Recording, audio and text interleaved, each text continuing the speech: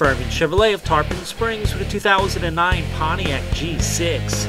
This vehicle has an Ecotec 2.4 liter inline 4 and an automatic transmission. AM FM stereo with compact disc player and a 6 speaker audio system. Four way adjustable front seats with power height, 60 40 split folded rear seat. This vehicle has daytime running lights, automatic headlight control, halogen composite headlights, four wheel disc anti lock brakes, and much more. Stop by for a test drive today.